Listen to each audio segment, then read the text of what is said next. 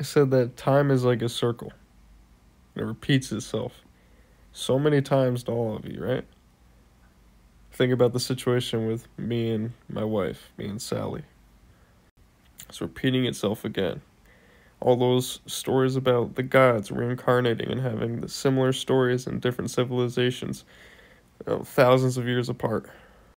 I told you that time is simultaneous, and my future self is in another dimension right now.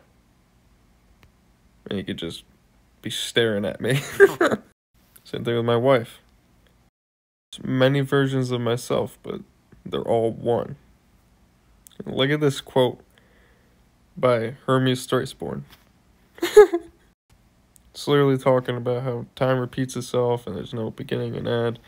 Time is simultaneous. It's literally like my whole life. And it's like, oh, it's just so fucking annoying. I wish I could just not have to deal with this circle shit. It sucks.